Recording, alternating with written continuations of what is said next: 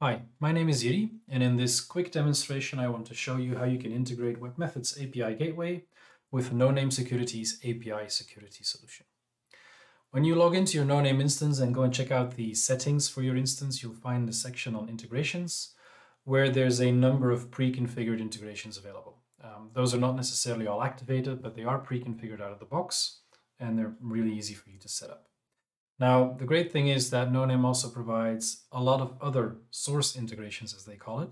And source integrations provide you ways of sending information about API traffic to the NoName engine so that they can go and analyze it and apply all of their great API security magic to that traffic information. So we'll go ahead and add a source integration for webmethods API Gateway simply by clicking the Add Source Integration button here. And then you'll see there's a list of source integrations that we can add. One of them is webmethods API Gateway. I'll just go ahead and add a new integration for webmethods API Gateway. And this gives me two pieces of information that I need to remember. First is the source index. It's a unique number, in this case 8, which identifies for this instance of the NoName engine what is the source of API traffic information that we are receiving events from. The second piece of information we'll use later. So I'll go ahead and copy this.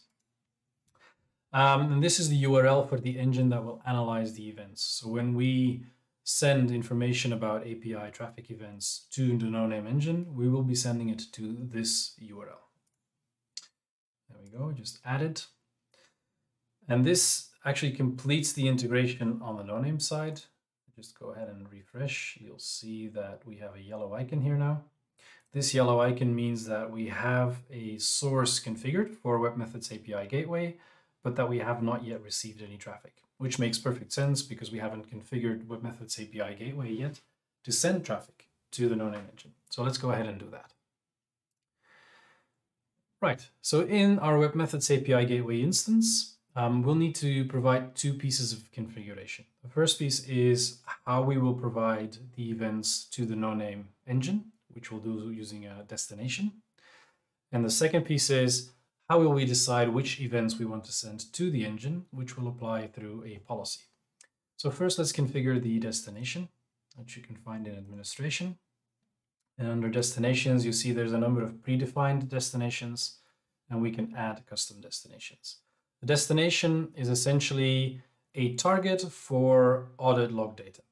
And there's different types of audit log data, but in this case, we're particularly interested about in the API management uh, audit log data because those are actually the traffic events for API requests and responses. So I'll go and add a custom destination for NoName. NoName security as a custom destination. We'll have a destination of type external endpoint, which is an HTTP invocation with the method post, and we will be posting our audit events to the URL that we received earlier when we configured the source integration on the NoName side. Everything else I can leave as default, except I obviously want to activate the API management um, audit logs. So activate that and simply add it. So this has created a destination for NoName security that when used will send the audit information about API requests and responses to the no-name engine.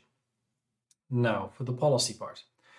When we create a policy, we need to decide whether we want to apply a policy to an individual API or whether we want to create the policy as a global policy. Um, both mechanisms work for the no-name integration. Um, so you could go ahead and on an individual API add a policy that sends those destinations, or sorry, sends those audit events to that destination for that specific API only. But since we're dealing with security, I like a blanket approach better, which means create a global policy that applies to all of the APIs automatically, no matter whether you add new ones, change existing ones, that policy will automatically be applied and send that information to NoName. So I'll go and create a global policy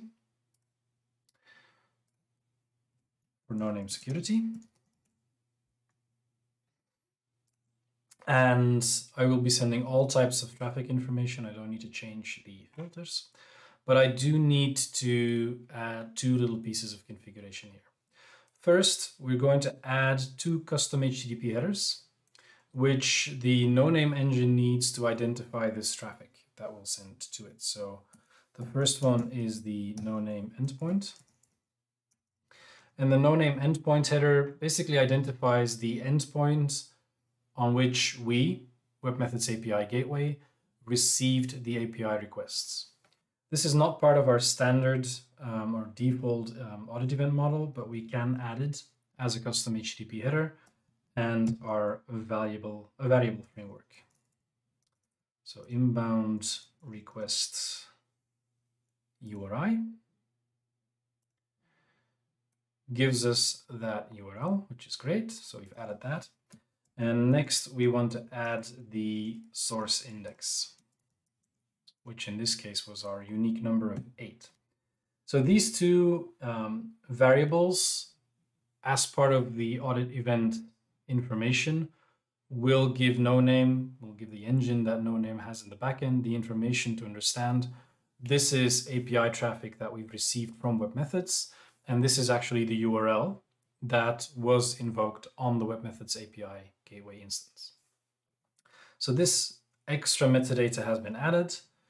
Then next, we simply want to configure the destination for our traffic monitoring. So we'll just go ahead and add a log invocation where we'll store all the requests and responses, headers and payloads.